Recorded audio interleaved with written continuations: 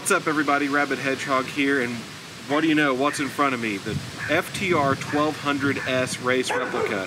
This is a 2019 motorcycle, all in stock formation, which is what exactly I want to look for whenever we're doing these reviews, and that way we can get you the best possible out-of-the-box review that we possibly can do. So you're like, oh, so you got yourself a new motorcycle. The answer to that is no. This is actually a great gesture by Indian of Oklahoma City. I want to thank them for allowing me to take this bike out for an entire week so that way I can give you guys, the subscribers and viewers, the best possible review that I can by using this bike every day like it was my own machine.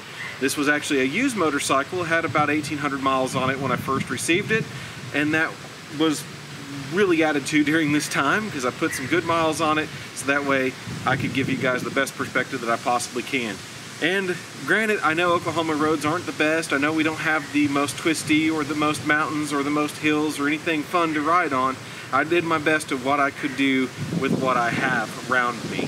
So there's going to be some hills, there's going to be some turns, there's going to be some things that I normally don't get to do whenever I'm doing just the small typical rides. And I very much am appreciative to Indian of Oklahoma City for allowing that to happen. I also want to thank AGV Sport USA for providing us the gear to keep us safe. You'll see my Palomar jacket hanging there.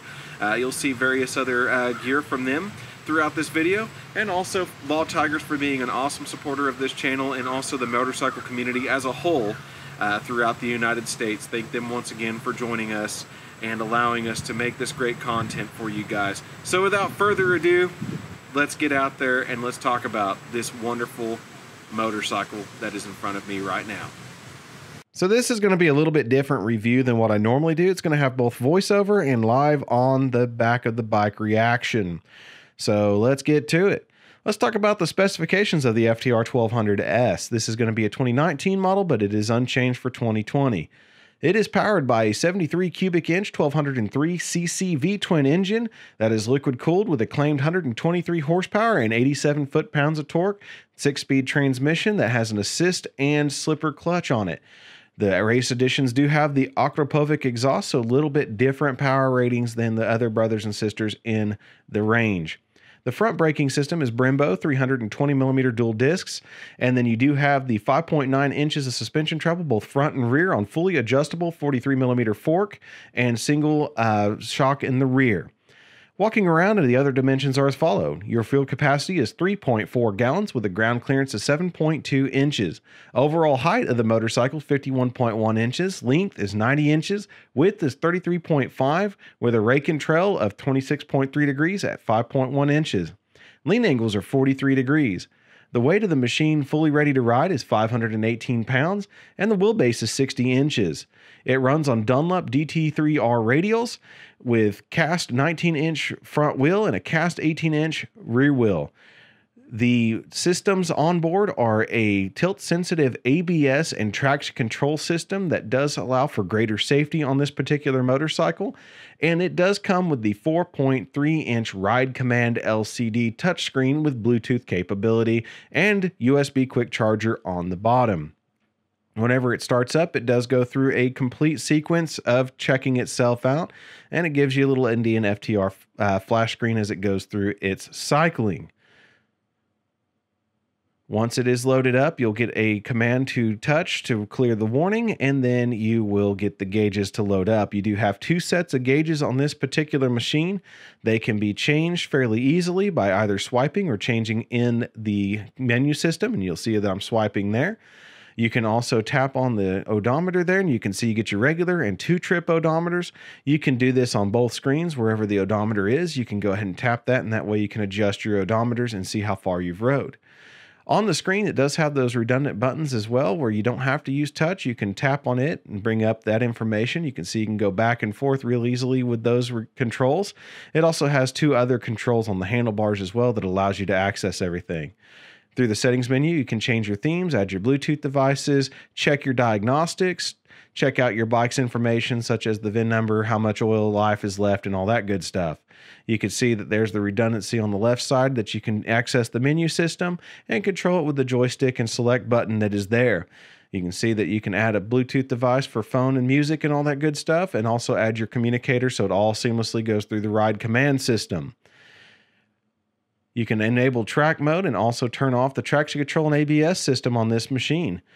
And then you can leave it in track mode if you want to, but you can keep the traction control and ABS systems on. You do have rain, standard, and sport mode on throttle responses. Does not change the power output, just changes how the throttle moves.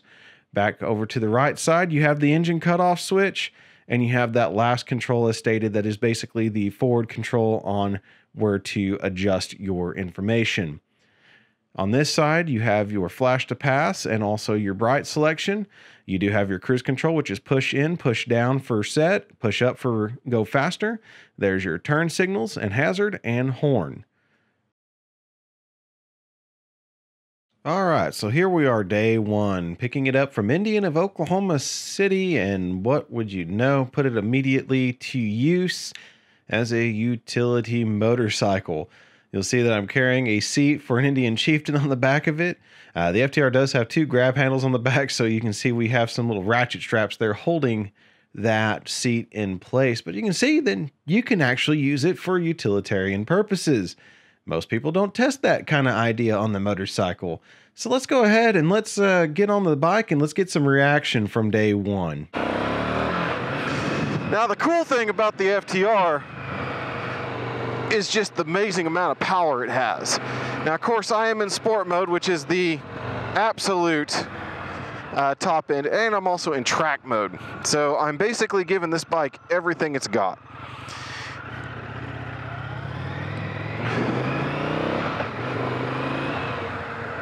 Oh man, these brakes bite so so hard. Kind of, kind of have to remember how to get used to this bad boy once again, because it is quick and it is potent. Quite the machine.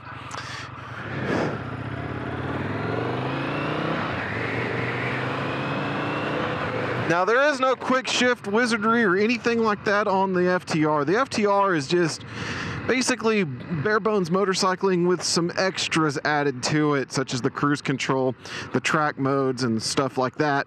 That's all in there. But in reality, it doesn't really change the actual power itself. It more or less changes throttle responses. and you can see this thing's got throttle response already getting up to well needed speed for the area in only second gear without issue whatsoever. The bike wants to fly. Like I remember the last time. now, last time I only got to take this bike out for about 20 minute ride, and you know, it is what it is when it comes to riding a motorcycle. You do have to kind of take what you can, but I'm very thankful that I get to take this bike out for a long ride today and that is going to be amazing. And the engine braking on this bike is phenomenal, but those front Brembo brakes are just absolutely phenomenal.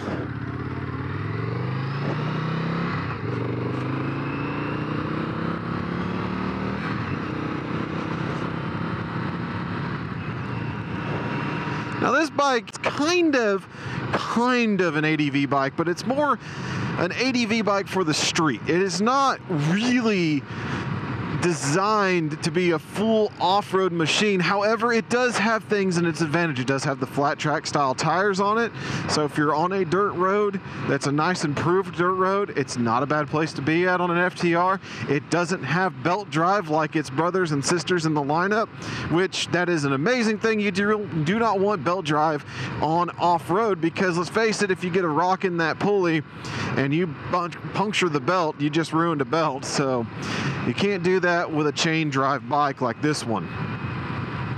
And that's why I'm okay with it being a chain drive. Of course, I know that people are like, well, why can't it be shaft drive? Well, that's weight and some other things, and that's up to the manufacturer to figure out how to conquer the dirt, either by chain or by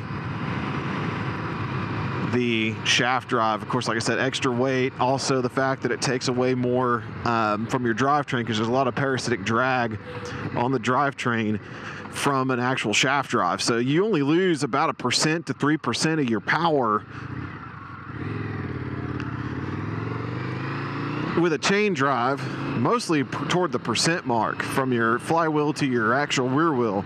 So you lose less in a chain drive than you do any other system in terms of power output and all that stuff. So another good thing about it is it is a chain drive and it could put a lot of that power from the V-twin, that 125 horsepower to the back wheel, 120 to 125.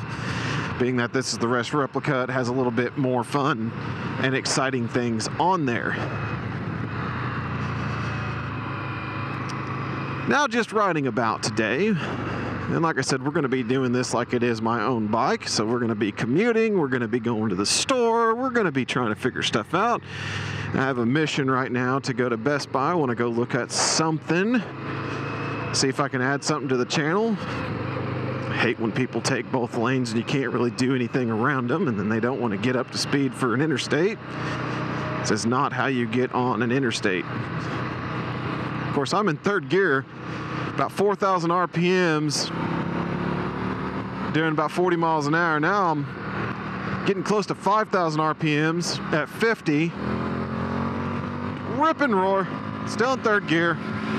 Get to 70, under 7,000 RPM. Bike has a red line all the way at 9. It don't care.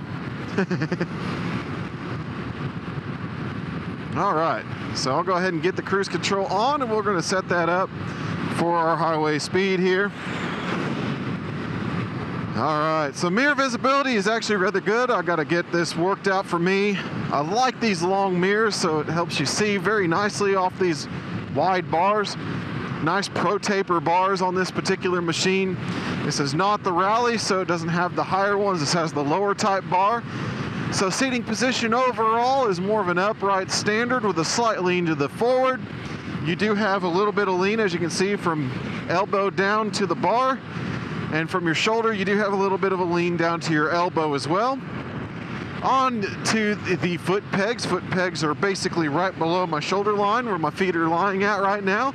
And also my knees and everything. You got the feet more toward the shoulder and the knees out forward to hold that.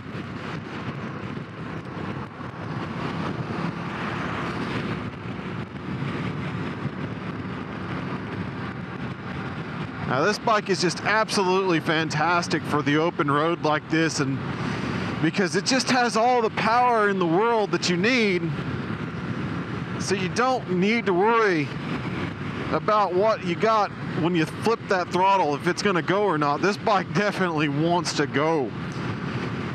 Has no issue with that at all. And the engine braking is super good on it, so you gotta be careful. I accidentally tapped the uh, cruise control off instead of um, setting it. So it dropped off really quick there, so you gotta be careful. But that's called just getting used to this new bike and feeling out where everything is. Ergonomically though, everything is really good. There's not much in the way to get to places. So your turn signal is separate from the actual joystick. That makes it easier to be able to tell it apart. You can fill it out with your thumb. Of course, your horn is there. Everything is just kind of nice there. And there's only basically two things over here, which is your engine cutoff switch and also that forward paddle for your infotainment center or whatever you want to call it.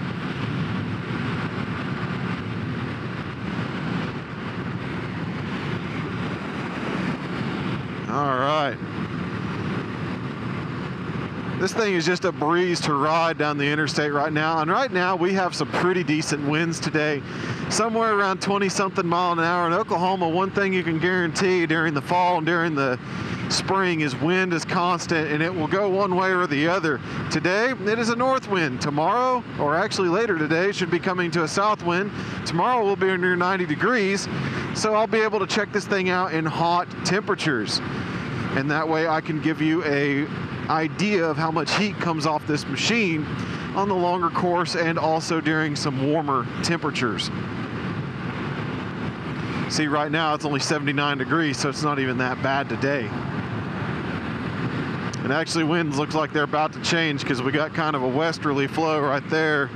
So we might be in the middle of our change there.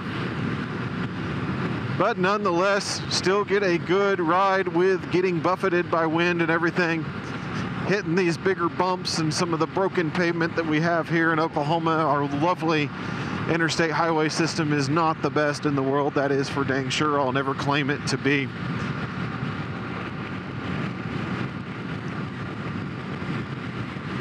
But my goodness gracious, does this bike ride really well?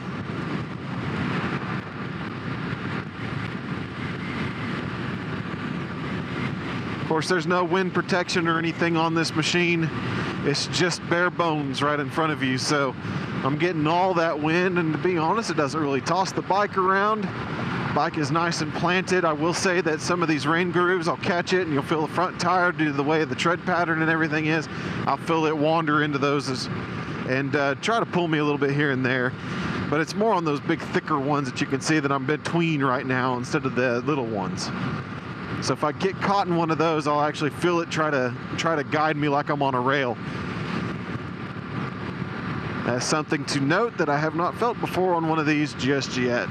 But then again, I haven't been on this road up in this area with it just yet.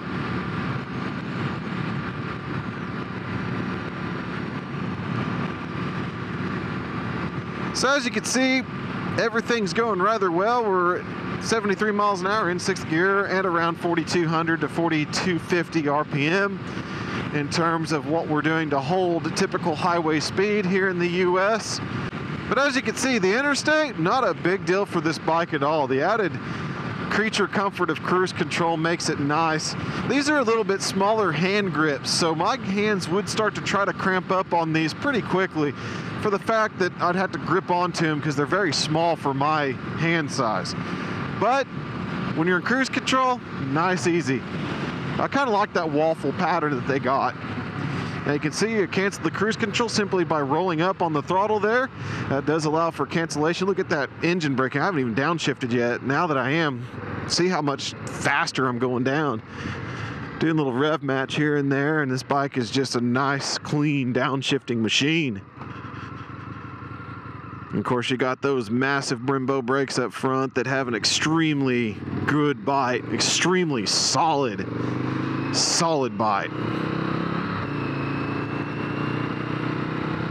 So, pretty much on day one, it was business as usual. Getting a good ride through the city, uh, through the interstates, getting a good idea and good feel for the bike. And that way we could get used to it once again since it had been a while since I rode it. However, on day two, we had a little bit more fun. Let's do this the right way.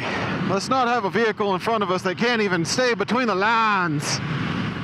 Let's get her in fifth gear so we got a little bit more power band. And let's have some fun with this bad boy. At least I get to see what the road condition was on the way in, so that way I know where we got and what we got going. And it's clean.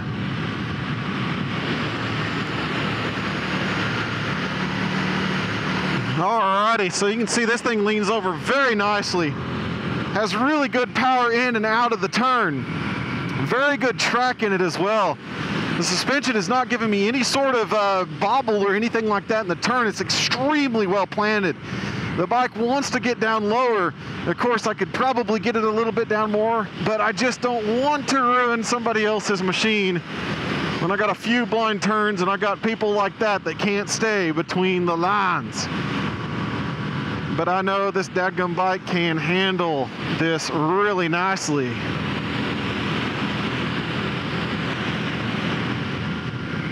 Look at that deer down there walking it through the water.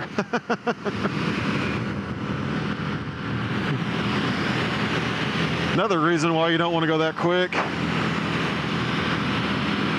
You see this thing is just tearing this up.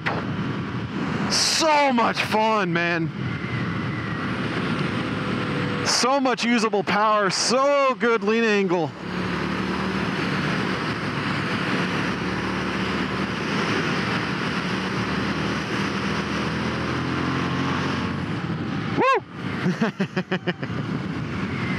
Handles it quite nicely. That's an exciting amount of fun right there. oh my goodness gracious, that was. This is by far the most fun bike I've ever had up through there. All right, so I know I was talking about a vehicle there. I'm not going to include them in there. It made the video very boring because they just got in the way and wouldn't get over 30 miles an hour through those turns, despite the fact that they're not very hard. And I do understand those are not very, very hard turns to get through when it comes to a motorcycle or anything like that. I just have to let you guys know Oklahoma really does have flat roads. I can handle these bikes on corners and everything, and they do very, very well in sweepers and everything. It's just very hard to find them here in Oklahoma, and this is about the closest thing we got.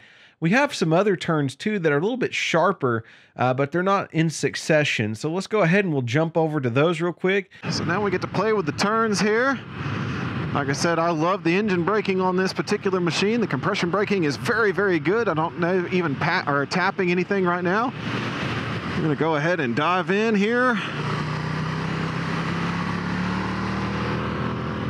Ooh, it's feisty.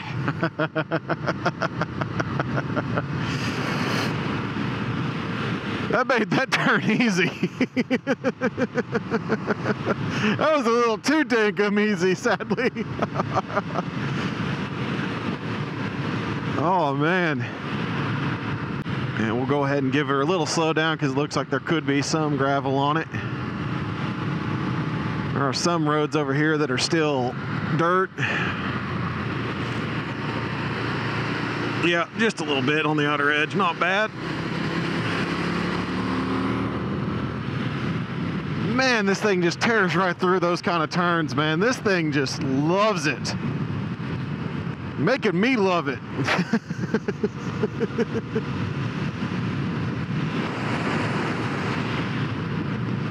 this thing is just a lovely companion as a riding machine for dang sure, guys. Man, this is just what I love in a bike. A bike that you can simply do everything with and just enjoy the scenery and the just its abilities and, and the, just how lazy and easygoing it is and yet how brutal at the same time this machine is. It has such amazing character and such stamina.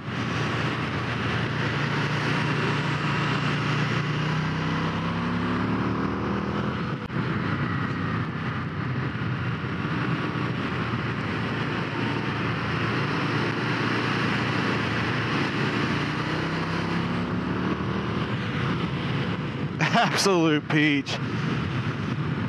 It just handles those turns so effortlessly. You know, I'm used to wrestling a motorcycle through those turns. I'm used to coming up at those turns at a much slower clip too and wrestling the whole thing in there, dragging components or going slow enough that it doesn't matter. And this bike just eclipses everything I've brought up here so far in terms of lean angle and speed and ability to do all that. Quite a phenomenal machine. And yes, I get it. Those turns really are not that complicated, but it's amazing when you go from something that only has a 31 degree lean angle and turn to something that has such a greater uh, amount. And the fact that, you know, like I said, the steering is so light you're not wrestling this machine at all. You literally just press the direction you want to go into, and the bike just sticks and goes. It's just amazing. I love it. I love the stickiness of this machine.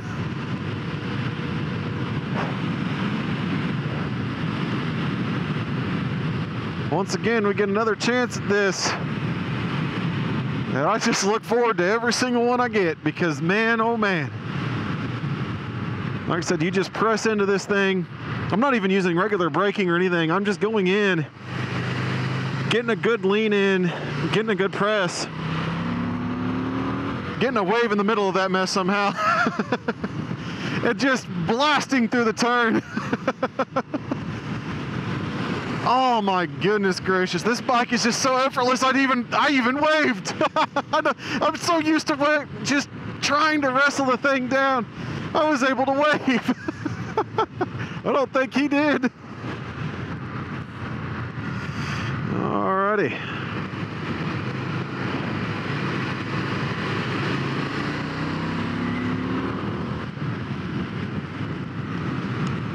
Man, just unbelievably well done chassis on this thing. It turns. It's just so good at it. It's just everything is so good on this machine. It, it just blows most of the bikes I've been on out of the water. You just get a very nice, pleasant feeling when you ride this machine. You really do. I feel at home already. I haven't had very much time with it at all, and I just already feel so much at home. Just some tweaks here and there. Just some getting to know this machine a little bit more is all it really will take to get this thing dialed in and perfect for me. And and I will be so so much happy. And I I mean, what can you say? When you find a bike that just sings to you like this, this is the bike that you need. It's a bike that if you go back and look at it as you get off of it and you're able to look back at it and just and still be in love with it, you know it's this it's the right bike for you. And this bike, honestly, even though it's not mine, I really do wish it was mine. And I probably will try my darndest to get one of these somehow in some way. So this ride ended up going over two hours in length, basically draining the fuel tank uh, completely. And that way it gave me a good chance to ride it and get the seat down and everything of that nature. The seating position was really, really good on this machine for me.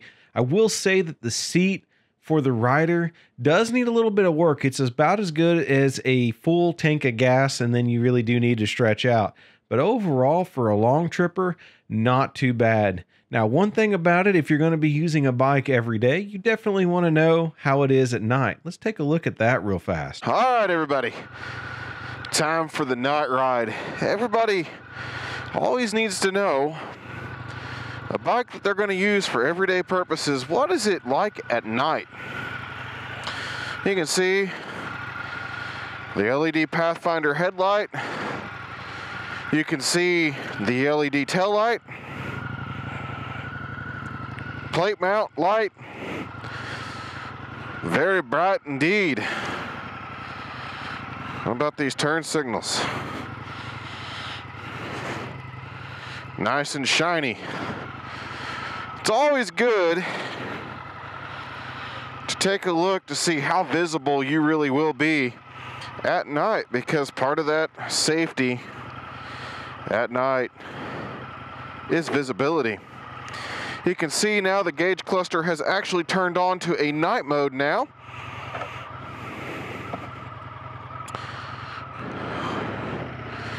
Giving it that blacked out look. All right. Good gracious, this thing is bright. I saw that cat like right there and then. Wow. kind of an interesting half moon shape light coming off this thing. I feel almost bad for these poor people I'm about to turn into. I'm not even on bright yet. Good night. well, yeah, good night. but that's the thing. Riding at night is a thing. You guys have to be able to see and have to have that safety. You don't want to override the headlight. You want your headlight to be able to get beyond, you know, only a couple of seconds in front of you. I actually had an issue with my Niron when I first got it that the headlight really could be overrode very quickly. And that was a very bad day most of the time.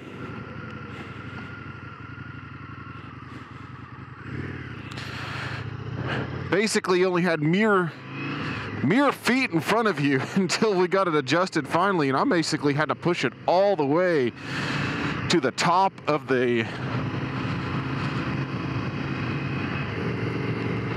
adjustment area, basically, and it really was very hard to see. All right, here we go. Time for the uh, time for the thing. Oh. Would you look at that kind of action? Look at that side to side. I'm in deer country up here. I appreciate that kind of distancing. Wow. Let's go to where there's nothing to get in the way. Let's go to the direction where there's less traffic lights, less man made light on the horizon. Look at this thing.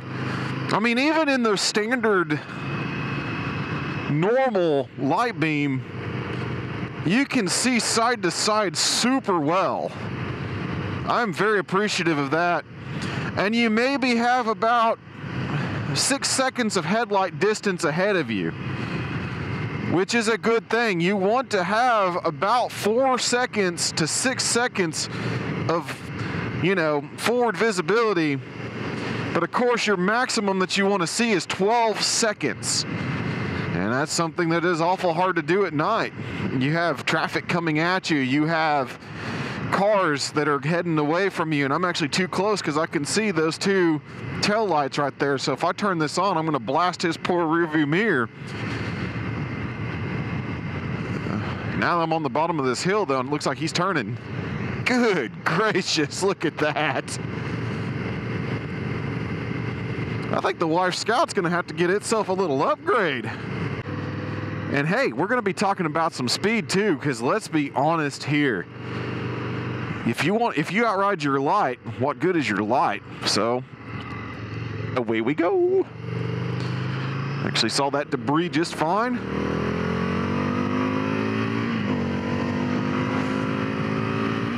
Rocketing away. And I have to say, even at highway speeds, the light is good. I am very, very impressed with the lighting on this machine. We have come a long way in technology and lighting. And uh, my goodness gracious, good job, Indian, and your Pathfinder light for that distancing. I mean, I didn't even need to hit the brights or anything. And I could still see, you can see 75 mile an hour is our speed limit and I'm riding about four seconds behind that vehicle in front of me, four to five seconds, and because um, I'm counting it out from these markers here, and it shines right up to the back bumper of that car, if not a little bit beyond it, meaning I can see that far at 75, 76, 77 miles an hour without an issue. And that's definitely a great thing whenever you're going at highway speeds at night. You want to be able to see that. And like I said, that side to side, I'm in deer country up here, and they will run out on the interstate at this time of night, at this time of year. This is October 1. This is for Oklahoma, the beginning of deer season. So there's going to be some deer on the move up here. And they will run out into the interstate. They don't give a flying flip up here. And they will cut you down. So being able to see over to the other side, I could actually see clear to that other shoulder on the other side of the interstate here. And I could see clear up that ramp, clear up into those trees right now at this speed. So you have extremely good visibility from the back of this machine. The headlights are going well. The rest of the brightness and everything, I like the way that they are portrayed. I like the brightness of that rear LED light. Of course, when you kick on the brake, it's a lot brighter. I didn't do that, unfortunately, because it's kind of hard to show you video. but man, oh man, I tell you what, I need I need this headlight on my bike. Definitely need to put it on the Scout. That is for dang sure. Bye bye, buddy. See, I'm not doing anything wrong. So at any rate. Hope you enjoyed the night portion of this review, because uh, I definitely did. definitely seeing quite a bit in the middle of the night. And what do you know? It's lovely. So this is definitely one of the best stock lights I have ever seen at night and I was very impressed with it. One of the longest reaching headlights I've ever used So, at any rate, we're going to actually add a passenger because what everyday use would be with passenger pegs and seat if you don't actually use them. So, let's go ahead and let's start the passenger portion of this review. What's up, everybody? Rabid Hedgehog and poor guinea pig wife. Sorry. On the FTR as a passenger. Now, of course, as you can see, it's a regular old Sunday afternoon. It's lunchtime. Maybe a little after lunchtime, but we just got done eating. And uh, we already have some thoughts about the seat on this thing uh, for a passenger, and, and they're not they're not happy. No, they're not happy.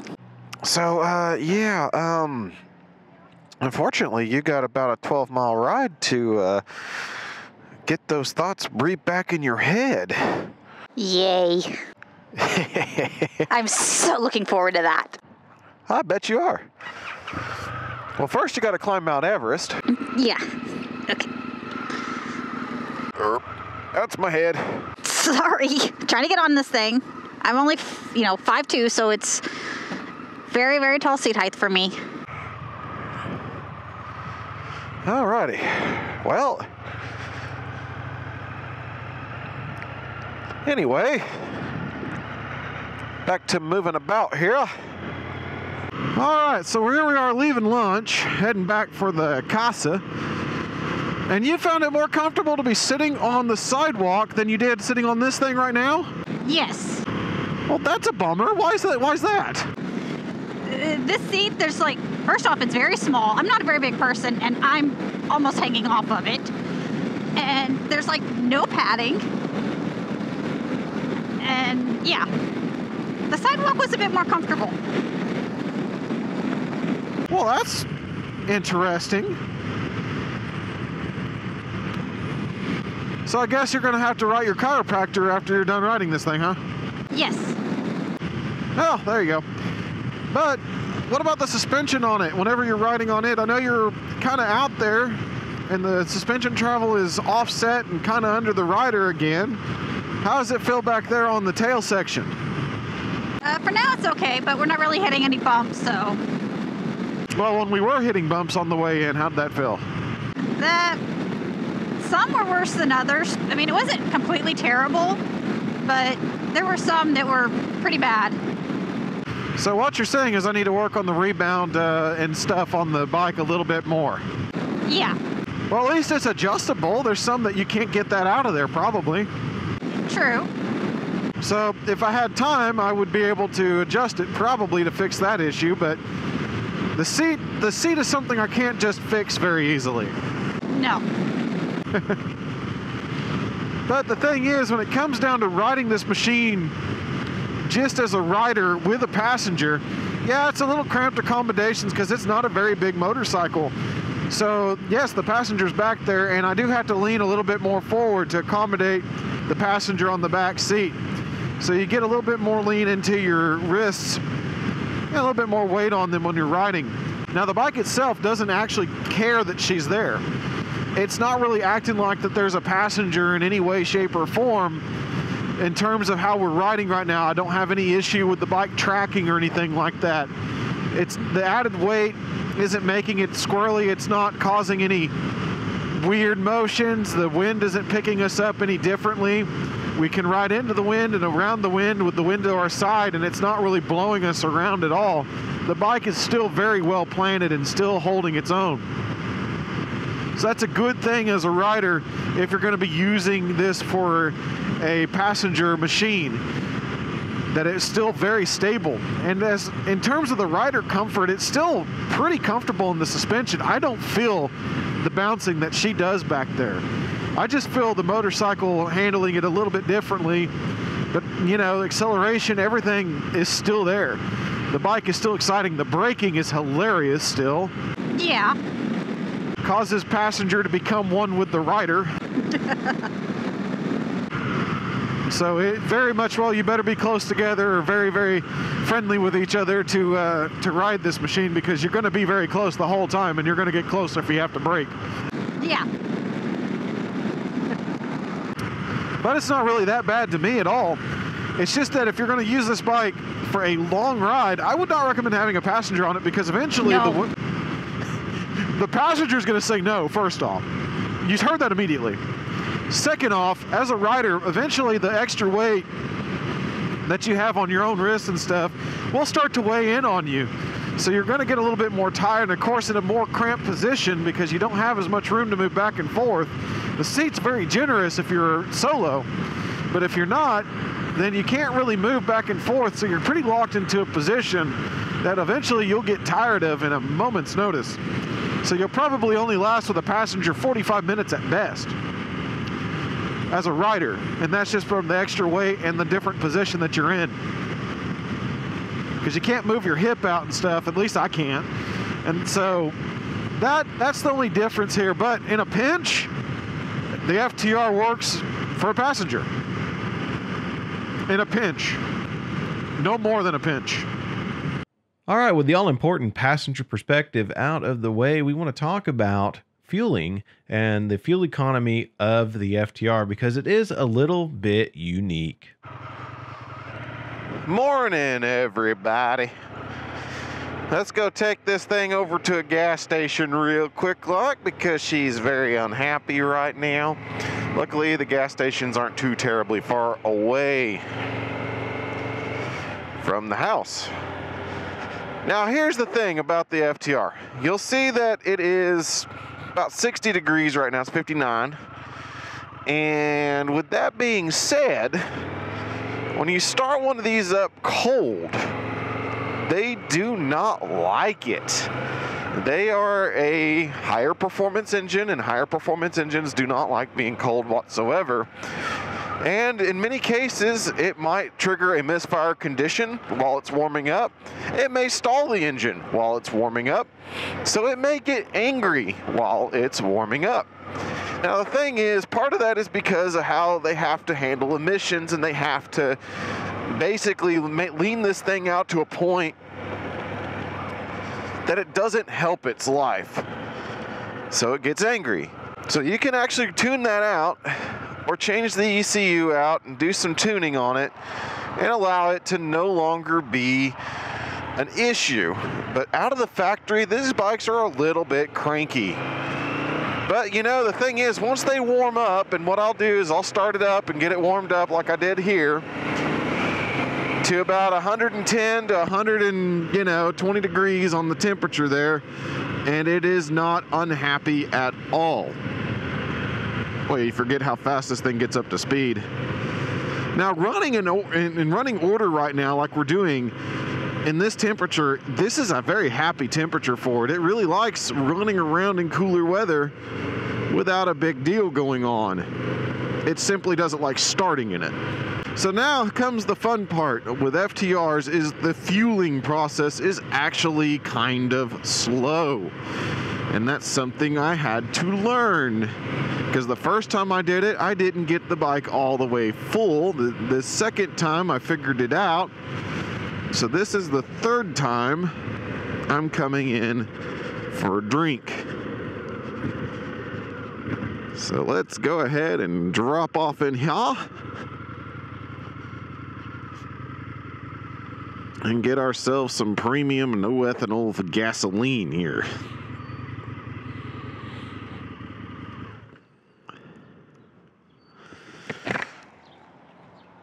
All right, so the FTR's tank is actually under the seat, but the filling port is right there.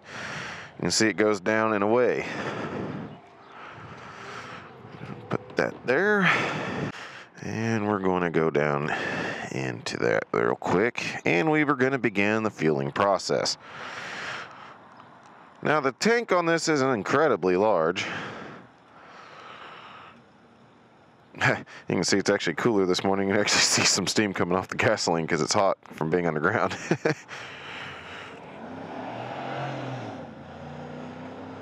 it's kind of funny.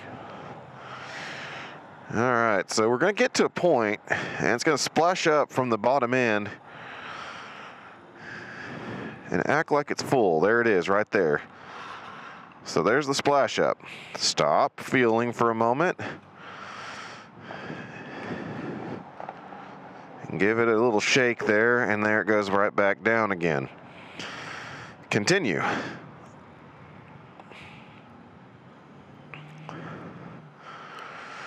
It's when it doesn't go back down is when it's actually full. That's the trick.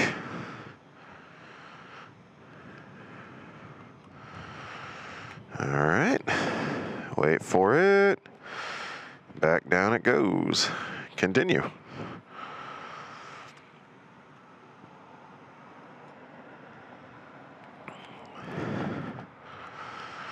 All right, just shaking it to get a feel for where it's at. We're still not there yet. Now I've tested this, and if it doesn't go back down, it doesn't come out the or the uh, bottom either off the overflows, which means we're still not full yet until we get about there. All right, so see, it's right at the bottom of the neck there. And now we've got a full tank of fuel.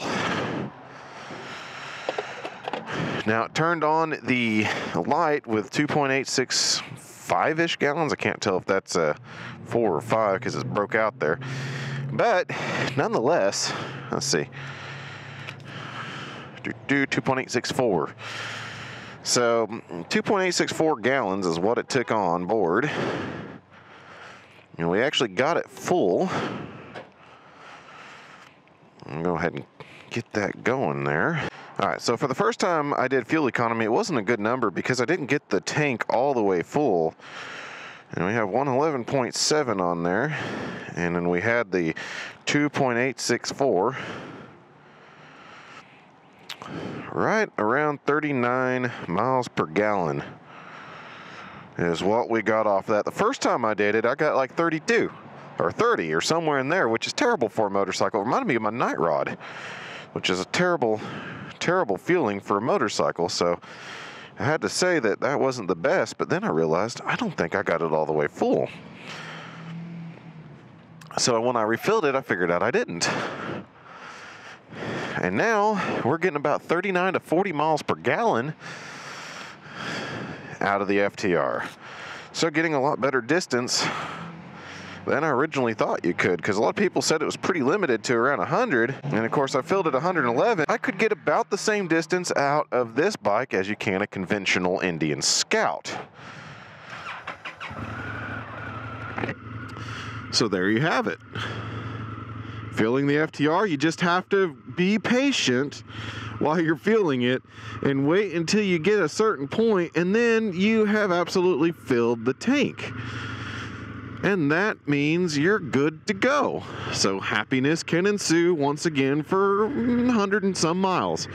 So, at any rate, I hope that tutorial on how to fill your FTR properly helps out and seeing the actual fuel economy uh, between mixed riding that was not um, just highway or anything like that. That's between city and highway and stop and go and revving for kids and having fun with this bike.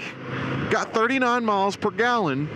And like I said, I have a, I have witnessed around 40 something when I redid my calculation from when I knew I didn't get the tank completely filled up. and figured out how much extra that is after that first splash and kind of computed it to get about 42 and that one was more steady highway. There was a little bit of stop and go in there, not as much.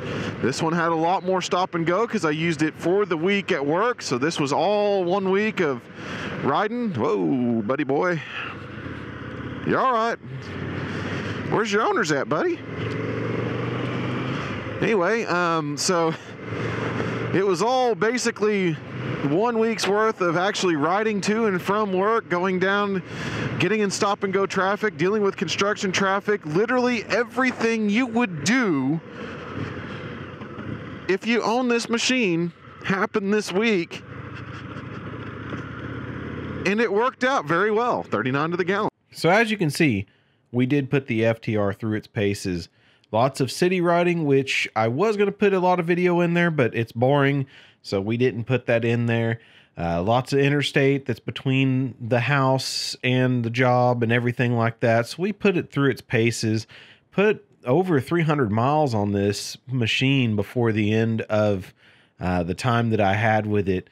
And on this particular day here, we reached into the middle 90s in temperature, and we got a good feel for how the engine heat and everything came off of the machine.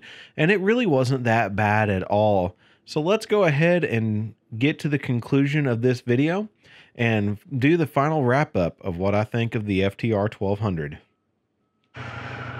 Well, everyone, this is going to be a very sad, sad day in Mr. Hedgehog's life here. The day I got to take back this lovely machine to Indian of Oklahoma City. I got to spend the entire week with it, put on a couple hundred miles, basically 300 ish. Gave it a good weekly haul like it was a commuter bike of my own. Because I do use my bikes for everything. I do try to use them for utility purposes and just about everything. Right now, of course, I'm carrying a backpack with extra equipment and everything right now. So a little bit different setup for me even. But using this bike one more time as I go down to Indian OKC to return it. But I wanted to make a conclusion on this motorcycle from the back of this motorcycle. So, is it a perfect motorcycle? No, there's really not a perfect motorcycle out there. There's good motorcycles, there's great motorcycles, and there's just terrible motorcycles. And this one definitely, actually, to me, is one of the greats. Does it have some ho hums? Yes, it does. It does have the cold start fun problem that it has. But just remember, just start it up and let it idle up a little bit and get up to about 100 degrees, 110 degrees, and it's totally fine. Does it have a seat that doesn't last as long as it needs to for a bike this fun? Yeah. I mean, it's got a good seat for between gas station stops, but other than that, eh, it's not nothing to write home about. It doesn't have a good passenger accommodation. Absolutely not.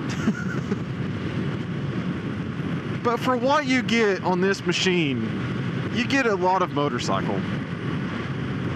It reminds me of going back to my Night Rod days when I had that thing, and that was the sportiest of Harleys. And yet, it didn't match what it was supposed to. The pegs were forward mounted, the seating position was more of a clamshell. It just didn't fit right with the motif of it being a sporting bike with the power and everything that it had, the 240 rear end. This one just makes it better. And I know the Night Rod is more of that dragster for the street, and this is more the flat tracker for the street.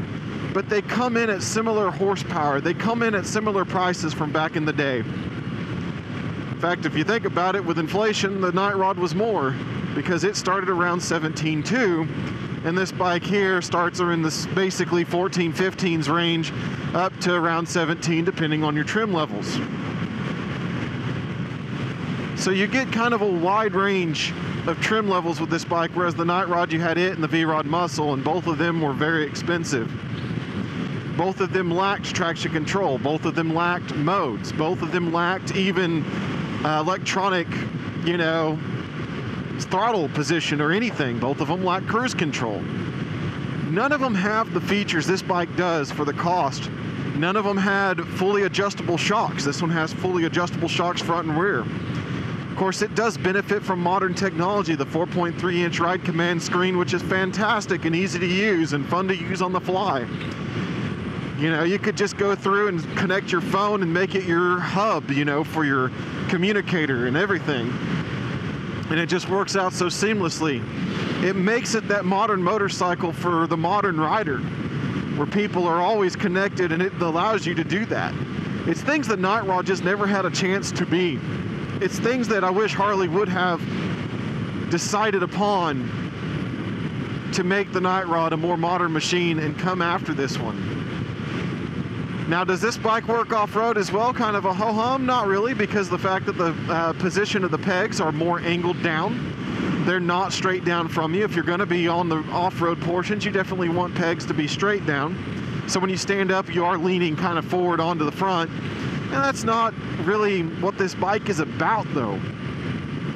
As I've rode this machine, I've made note that this is probably one of the finest street machines and one of the best street fighters, if you want to call it that, there is. It goes against the monster, it goes against several of those other machines from Europe. And to me, this one just has soul and character that is amazing for its price point and does very, very well and rides extremely well. It is an absolutely fantastic machine overall. Is its fuel range short? Yes, but so are others. Does it get over 100 miles to a tank? Yes, it does actually. And I've been actually getting around 40 miles per gallon. So that's not bad at all for a machine in this class. Back going to the Night Rod once again, that bike barely, barely made 33 most of the time. With only like one time did it ever experience 40 miles per gallon. And that took a bunch of effort to like hypermile a motorcycle to get to the said 40 miles per gallon. This bike does it without doing such a thing. This bike just rides really well. It takes a little bit of time to fill it up, but once you get it filled up, you're good to go for over 100 miles, almost 130 when you take all into consideration. So it means it has just about as much traveling distance as a standard Scout about 130 or so miles. So that's not bad at all for a machine like this. This bike is not just a point A to point B bike. This bike for a rider is a very comfortable machine. It allows you to go out and enjoy the roads out and around your city. It allows you to go out and canyon carve. Yes, you'll need to fill up a little bit more often, and yes, you'll need to stretch a little bit here and there without an additional seat.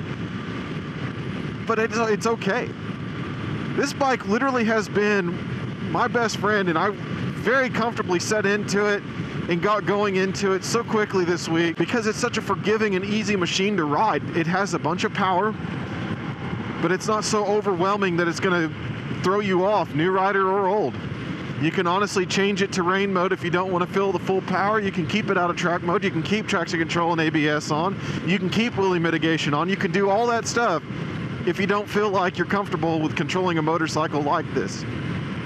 It allows for that. It allows for that fine balance between being a bike you can grow into and being a bike for experts because this bike is phenomenal at turning. This bike is phenomenal at holding its weight. This bike is phenomenal at balance. It's real easy to centerline this bike from the stand. And it's real easy to propel this bike through the streets. It's literally like it's thinking for you, and it's very, very nice. The suspension is wonderful. Yes, 5.9 inches of travel, and that's another reason why it's not the best of the best going off-road because the suspension is short for it, but for a road, turning it to where you need it to be, and it's a very easy adjustment on each side, it is phenomenal. It just goes over the roads really, really well. You can make it as sporting and as tough as you want, or you can make it soft and cuddly. And that is so weird to be able to do something like that with a machine with this caliber performance. The engine has been a peach the whole time. The cooling system has been a peach the whole time. Cooling, as you'll see, we're at 173 degrees, 68 degrees right now. I've been out on days where it's 90 degrees and the heat isn't even that bad coming off of this machine. Like I said, I may be just a little bit more tolerant to heat than others because I ride a lot of air-cooled bikes. But when it comes down to it, this bike is phenomenal in terms of its cooling system because you'll see this thing get up to 206, turn its fans on, drop to 190s in less than three minutes. And when you're moving, it just goes down and settles into the 170s and stays there as long as you got movement and airflow. And that is a fantastic cooling system. The Night Rod, I remember, was so much hotter than this bike. There was always a constant baking to my right inner thigh. There was always something burning me somewhere. I'd sit still and my fans would kick on. And when those fans would kick on, the poor people to the right or left of me, if they were in the right position, would suddenly feel a burst of heat they could not explain. And it was just from that bike kicking it out. This one does send a burst of heat, but it's so short lived it doesn't really bother you as a rider. But that's only when you're sitting still and the bike has a chance to heat up while sitting still. But it takes a bunch to do that. So that's actually really good. This bike just likes to be in a little bit warmer condition. Like I said, it does have a little bit of a misfire and a little bit of issue on that every once in a while when it's cold, cold. But just warm it up, give the bike a chance, and that way it will, will treat you well. Because when this bike is up to temperature and this bike is going down the road, you do not have any problems whatsoever. It's a very smooth running engine. The engine is very powerful. It works well in all the power bands. It does well in sport mode and tour mode. So it does well throughout its or standard mode, excuse me. It does well in sport and standard mode. It does very well in all conditions that I've put it through this week. Even a little bit of rain was falling and I kept it in sport mode to be honest because the throttle is so easy to work with even in sport mode even in a little bit twitchier mode easy modulation one-to-one feeling everything is good if you're a good rider and you've been riding a long time this bike will treat you very very well but if you're a new rider like I said, turn the power modes down a little bit if you need to until you get that good one-to-one feel for yourself, and it will treat you well to grow into. The seating position is good for me. I really do enjoy the way it sits. It does have that little bit of arc forward to the you know front for me. It is a little bit more aggressive than your standard motorcycle but it works out very well. Doesn't put much weight on the wrist at all. If you do have a passenger, yes, they do scoot into you and it does cause a little bit more weight to those wrists. So you do have a little bit more to deal with if you do carry a passenger. But overall, this is a great motorcycle. This this really is going to be sad. I've grown so accustomed to this thing and so happy with it, you know. It's just been such a great ride for these last few days. And no, I'm not paid by Indian. No, I'm not paid by the dealership. I'm not paid by anybody to do this. I just wanted to take a long-term bike ride out and be able to get actual feedback for a whole entire week of riding so that way I can get that to you guys. That way I could have you guys see what it's like to ride a machine for an entire week, put several hundred miles on it, and not just a 10 minute ride or 20 minute ride. And I have to say, this has been a great experience, and I'm very thankful to Indian of Oklahoma City for allowing me the first experience in doing this. I truly hope that I can catch more people to allow me to do this and more motorcycle manufacturers to allow this so that way you guys can get the idea of how these bikes are as an owner. And I really have felt like an owner of this machine. I've put gas in it. I've done everything I needed to for it. And it's been fantastic. And I will dearly, dearly miss this machine. So at any rate, thanks for coming along for the ride. This is the Rabid Hedgehog, and as always, keep that shiny side up and we'll catch you on the next ride. What's up, everybody? This is the Rabid Hedgehog. We once again want to thank you for watching our videos. Please like, share, subscribe today, and if you like what you see, mash that notification button so that way you get our latest videos and notifications live and on the spot. We also want to thank our dealership partners, Indian of Oklahoma City, House of Kawasaki, and Motive Cycle Works Moto Guzzi, who is also our motorcycle mechanic. We want to thank them for allowing us to ride their rides. We are not paid in by any way by any manufacturer or dealer. We just get to be mad men and women with opinions. We also want to reach out to our sponsors and thank them. We have Law Tigers Motorcycle Lawyers. These motorcycle lawyers are mostly nationwide and can be reached 24 7 at lawtigers.com or 1 888 868 0208. We also want to thank our newest sponsor for gear and the things that you see us wearing, AGV Sport USA. They are out of agvsportusa.com in Flower Mound, Texas. We also want to thank Doug Crawford and AMS Oil for protecting our machines with the latest in lubrication technologies. He can be found at usasynthetics.com or 405 388 6170.